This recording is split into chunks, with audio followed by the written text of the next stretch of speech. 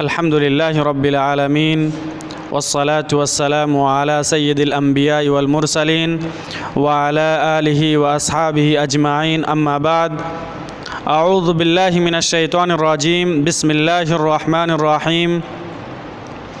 ويسألونك عن المحيض قل هو أذى فاعتزلوا النساء في المحيض ولا تقربوهن حتى يطهرن فإذا تطهرن فأتوهن من حيث أمركم الله إن الله يحب التوابين ويحب المتطهرين آج سورہ بقرہ، سورہ نمبر دو کی آیت نمبر دو سو بائیس سے چند آیتوں کا خلاصہ اور تفسیر پیش خدمت ہے۔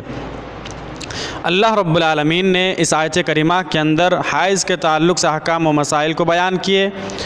اللہ رب العالمین نے بتایا ویس عَنِ الْمَحِيزِ اے نبی، لوگ آپ کے پاس آتے ہیں اور سوال کرتے ہیں کہ حائض کے متعلق سوال کرتے ہیں۔ حائض کا حکام و مسائل کے تعلق سے پوچھتے ہیں، سوال کرتے ہیں۔ اے نبی، آپ جواب دے دیجیے۔ قل ہوا آدھا وہ ایک گندگی ہے۔ وہ ایک گندگی ہے۔ کیا کرنا ہے؟ فَاتَزِلُ النِّسَاءَ فِي الْمَحِيض۔ جب عورت حائض کی حالت میں رہے تو آپ ان سے الگ و تھلگ الگ تھلگ رہو۔ ولا تقربوهن حتى يطهرن اور ان کے قریب بھی مت جاؤ یہاں تک کہ وہ پاک ہو جائے۔ وَإِذَا تطهرن فاتوهن من حيث امركم الله اور جب وہ پاک ہو جائے تو وہاں سے آؤ جہاں سے آنے کا اللہ رب العالمین نے حکم دیا۔ ان اللہ یحب التوابین و یحب المتطہرین اللہ رب العالمین توبہ کرنے والے کو اسی طریقے سے پاک و صاف رہنے والے کو بہت زیادہ پسند کرتا ہے۔ حائض کے متعلق سوال ہوتا تھا حائض کیا چیز ہے؟ عورت کو بلوغت کے بعد، بالغ ہونے کے بعد ایام مہاوری میں جو خون آتا ہے، اس کو حائض بولا جاتا ہے۔ اسی طریقے سے خلاف عادت، عورت کو جو خون آئے، شرمگاہ سے اس کو استحاضہ بولا جاتا ہے۔ حائض اور استحاضہ دونوں کا حکم و مسائل الگ الگ ہے شریعت کے اندر۔ حائض کے تعلق سے شریعت کے اندر آپ کو یہ بات ملے گی جبکہ جب کسی عورت کو حائض آئے تو پھر نماز معاف ہے۔ وہ نماز نہیں پڑے گی، نماز بالکل معاف ہے۔ لیکن روزے کی قضا کرنی پڑے گی، اس کو روزہ بعد میں رکھنا پڑے گا اس کو۔ اسی طریقے سے استحاضہ کے تعلق سے بہت ساری احادیث پیارے نبی صلی اللہ علیہ وسلم کے آپ کو مل جائیں گی کہ جب عورت کو استحاضہ کا خون آئے تو پھر عورت کے لیے نماز معاف نہیں ہے اس وقت؟ عورت کے لیے نماز معاف نہیں ہے۔ وہ وضو بنائے اس کے بعد نماز پڑھے۔ یا تو پیارے نبی صلی اللہ علیہ وسلم کی حدیث بھی آپ کو ملے گی کہ وہ غسل کرے، وضو بنائے، پھر نماز پڑھے۔ پیارے نبی کی یہ بھی تعلیم آپ کو ملے گی کہ وہ دو نمازوں کو اکٹھا کر سکتی ہے۔ جیسے زہرہ اور عصر کو ایک غسل سے ایک وضو سے وہ پڑھ لے، اسی طریقے سے مغرب اور عشاء کو ایک غسل اور ایک وضو سے وہ پڑھ لے۔ تو دونوں کا حکم و مسائل الگ الگ ہے شریعت کے اندر۔ یہودی لوگ کیا کرتے تھے؟ جب عورت حیض کی حالت میں ہوتی تو عورتوں سے بالکل الگ تھلگ رہتے تھے۔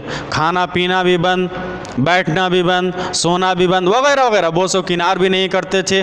اللہ، اسی لیے صحابہ اکرام نے پوچھا پیارے نبی صلی اللہ علیہ وسلم سے کہ اصل مسئلہ کیا ہے؟ کیا کرنا چاہیے؟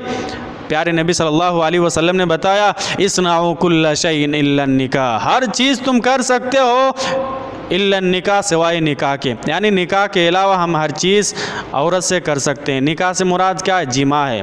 ہم بستری ہے جب عورت حیض کی حالت میں رہے، ہر چیز کیا جا سکتا ہے؟ بوس و کنار، ساتھ میں اٹھنا، بیٹھنا، سونا، کھانا، پینا، سب کچھ کیا جا سکتا ہے۔ الا نکاح جمع نہیں کیا جا سکتا ہے۔ آیت کے اندر الفاظ ہے، ولا تقربوهن حتى يطهرن عورت کے قریب نہ جاؤ، یہاں تک کہ وہ پاک و صاف ہو جائے۔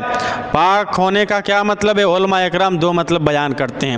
پاک ہونے کا ایک مطلب یہ بیان کرتے ہیں علماء اکرام کہ حیض آنا بند ہو جائے، اس کے بعد وہ تو نماز نہیں پڑھ سکتی ہے، غسل کے بغیر نماز نہیں پڑھ سکتی ہے۔ لیکن شوہر جمع کر سکتا ہے، غسل کرنا اس کے لیے واجب اور ضروری نہیں ہے اس وقت۔ لیکن نماز پڑھنے کے لیے غسل کرنا واجب اور ضروری ہے۔ پاک ہونے کا ایک مطلب یہ ہے۔ اسی طریقے سے پاک ہونے کا دوسرا مطلب یہ ہے کہ جب حیض آنا بند ہو جائے تو پھر وہ غسل کر لے، نہا لے۔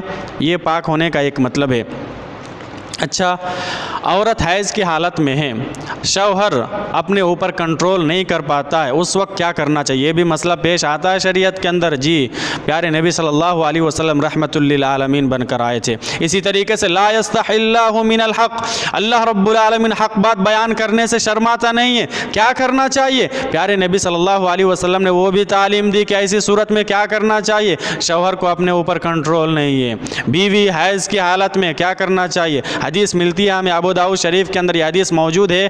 پیارے نبی صلی اللہ علیہ وسلم گئے بعض ازواج مطاہرات کے پاس۔ آپ کو پتہ چلا کہ میری بیوی حیض کی حالت میں ہے۔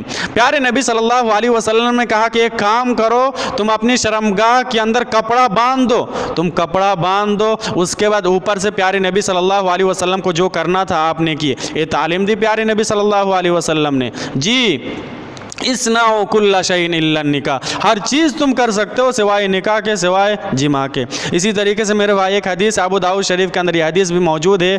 ایک صحابی رسول حضرت عبداللہ بن سعد رضی اللہ تعالیٰ عنہ۔ وہ پیارے نبی صلی اللہ علیہ وسلم کے پاس آتے ہیں اور سوال کرتے ہیں کہ اللہ کے نبی مجھے اپنے اوپر کنٹرول نہیں رہتا ہے اور میری بیوی کبھی حیض کی حالت میں رہتی ہے۔ اس وقت میں کیا کروں؟ مجھے کیا کرنا چاہیے؟ میں کیسے اپنی خواہشات کو پوری کروں؟ کیا کرنا چاہیے؟ پیارے نبی صلی اللہ علیہ وسلم جواب دیتے ہیں لکا ما فوق الازار کپڑے کے اوپر تمہارے لیے ہر چیز جائز ہے۔ یہ حدیث کے الفاظ ہے لکا ما فوق الازار ازار کے اوپر ہر چیز تمہارے لیے حلال ہے اور جائز ہے۔ پتہ کیا چلا؟ آپ صرف جمع نہیں کر سکتے، اس کے علاوہ جو کچھ ہے اوپر سے آپ کر سکتے ہیں۔ یہ مسئلہ ہے۔ اسی طریقے سے اللہ رب العالمین نے بتایا، فَإِذَا تَطَهَرْنَا فَاتُوهُنَّ مِنْ حَيْثُ أَمَرَكُمُ اللَّهِ۔ جب وہ پاک ہو جائے تو پھر وہاں سے آؤ۔ جہاں سے آنے کا اللہ رب العالمین نے حکم دیا یعنی پیچھے کی شرمگاہ سے آپ بالکل نہیں آ سکتے۔ دبور سے آپ جمع نہیں کر سکتے۔ اللہ نے کہا فَاتُوهُنَّ مِنْ حَيْثُ أَمَرَكُمُ اللَّهِ جہاں سے اللہ رب العالمین نے آنے کا حکم دیا، وہاں سے آؤ۔ اسی طریقے سے میرے بھائی، ایک مسئلہ یہ بھی ہوتا ہے، نفاس۔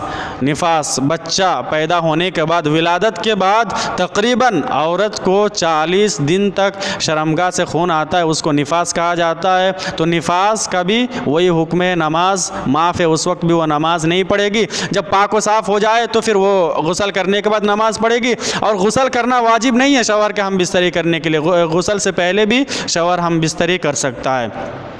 اس کے بعد جو آیت ہے، آیت نمبر دو سو تیس کے اندر اللہ رب العالمین نے بیان فرمایا، نساؤکم حرس لکم، تمہاری بیویاں تمہارے لیے کھیتی ہے۔ فاتو حرسکم انا شئتم، تو تم اپنی کھیتی کے اندر آؤ، انا شئتم، جدھر سے چاہو، وقدموا لانفسکم، اور اپنے نفس کے لیے، اپنے لیے نیکی کو مقدم کرو، نیکی بھیجو اپنے لیے۔ واتقوا اللہ وعلموا انکم ملاقو اور اللہ رب العالمین کا تقوی اختیار کرو، اور جان جان لو کہ تم اللہ رب العالمین سے ملاقات کرنے والے ہو۔ اچھا اس آیت کی شان نزول کیا ہے؟ احادیث کے اندر تین چار شان نزول آپ کو ملے گا۔ پہلا شان نزول اس آیت کے تعلق سے یہ ہے کہ صحابہ اکرام صحابہ اکرام بیوی سے مجامعات کرتے تھے، بیوی سے مقاربت کرتے تھے مدبرہ طریقے سے۔ مدبرہ کس کو بولتے ہیں؟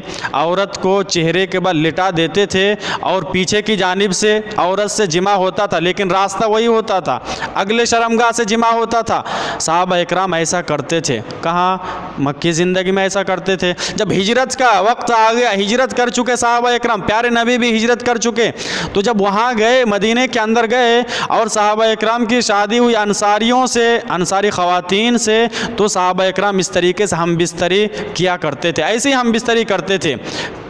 کئی عورتوں کو غصہ آ گیا کہ میرا شوہر مجھ سے اس طریقے سے ملتا ہے اس طریقے سے مقاربت کرتا۔ ہے چنانچہ حدیث کے اندر ہمیں یہ بات ملتی ہے کہ کئی ایک عورتوں نے سوال بھی کیا پیارے نبی صلی اللہ علیہ وسلم سے کہ میرا شوہر اس طریقے سے مجھ سے ہم بستری کرتا ہے۔ پیارے نبی صلی اللہ علیہ وسلم نے جواب کس انداز سے دیا معلوم ہے؟ پہلے کہا، لا یستح اللہ من الحق. اللہ رب العالمین حق بات بیان کرنے سے شرماتا نہیں ہے. اللہ رب العالمین حق بات بیان کرنے سے شرماتا نہیں ہے. اللہ رب العالمین حق بات بیان کرنے سے شرماتا نہیں ہے. تین مرتبہ پیارے نبی صلی اللہ علیہ وسلم یہ جملہ دہراتے ہیں اور پھر یہ اس آیت کی تلاوت کرتے ہیں. یعنی اسی موقع پر یہ آیت کریمہ نازل ہوئی. نساؤکم حرس لکم. تمہاری بیویاں تمہارے لیے کھیتی ہے. جدھر سے وہ آنا چاہتا ہے، آ سکتا ہے، لیکن راستہ وہی ہونا چاہیے۔ اسی طریقے سے اور ایک شان نزول اس تعلق سے یہ بیان کیا جاتا ہے کہ یہودیوں کا ایک عقیدہ تھا۔ وہ عقیدہ کیا تھا؟ کہ اگر عورت سے مجامعت کی جائے مدبرہ طریقے سے، چہرے کے بعد لٹا کے پیچھے سے ہم بستری کیا جائے۔ راستہ وہی ہے، مدبرہ طریقے سے اگر جمع کیا جائے، ہم بستری کیا جائے، تو جو بچہ پیدا ہوگا وہ بھینگا پن پیدا ہوگا۔ بھینگا پن پیدا ہوگا، ترچھی نگاہوں سے دیکھنے والا بچہ پیدا ہوگا۔ ایسا عقیدہ تھا یہودیوں کے یہاں۔ اللہ رب العالمین نے اس عقیدے کا رد کیا اور یہ آیت کریمہ نازل فرمائی، نساؤکم حرس لکم فاتو حرسکم اسی طریقے سے ایک اور شان نزول ہے۔ وہ شان نزول کیا ہے؟ ترمیدی شریف کی حدیث ہے۔ اس حدیث کا راوی حضرت ابو حریر رضی اللہ تعالیٰ عنہ ہے۔ وہ بیان فرماتے ہیں کہ ایک شخص، ایک صحابی رسول پیارے نبی صلی اللہ علیہ وسلم کے پاس آئے اور سوال کرنے لگے۔ سوال کیا تھا معلوم ہے؟ کہ اللہ کے نبی، میں نے اپنی بیوی کی سواری کر لی۔ اللہ اکبر۔ سوال دیکھ رہے ہیں کس طرح؟ اللہ کے نبی، میں نے اپنی بیوی کی سواری کر لی۔ کہا کہ کیا ہوا؟ کہا کہ مدبرہ طریقے سے میں نے جمع کر لیا اس کے ساتھ۔ اسی موقع پر یہ آیت کریمہ نازل ہوتی ہے۔ نساؤکم حرس لکم فاتو حرسکم۔ کہ تمہاری بیویاں تمہارے لیے کھیتی ہے۔ فاتو حرسکم انا شئتم۔ تم اپنی کھیت کے اندر جدھر سے چاہو آؤ۔ وقدموا لانفسکم لیکن میرے بھائی، کھیتی کہاں نا اللہ رب العالمین کی کھیتی ہے؟ کھیتی ہے تو پھر پچھلے شرمگاہ سے آپ جمع نہیں کر سکتے کہ کھیتی ہے تو ہم جدھر سے آنا چاہیں گے، آ سکتے نہیں، کھیتی کا ایک مقصد کیا ہوتا ہے؟ کھیتی کا ایک مقصد مقصد ہوتا ہے تاکہ فصل ہو اس کے اندر۔ اناج آئے غلہ آئے۔ اگر آپ پیچھے کے راستے سے ہم بستری کریں گے تو پھر کھیتی نہیں ہو سکتی۔ مسئلہ کیا ثابت ہوا؟ کھیتی ہے تو جدھر سے فائدہ ہوگا، جدھر سے بچہ پیدا ہوگا، ادھر سے آؤ۔ یعنی اگلے شرمگاہ سے۔ آگے اللہ رب العالمین نے بتایا، وَاتَّقُوا اللَّهِ۔ ان تمام معاملوں میں اللہ رب العالمین سے ڈرتے رہو اور جان لو کہ تم اللہ رب العالمین سے ملاقات کرو گے۔ باقی باتیں ہم کل کریں گے۔ اللہ رب العالمین سے دعا کریے کہ ہمیں ہمیں عمل صالح کی توفیق عطا فرمائے۔ آمین۔ تقبل یا رب العالمین۔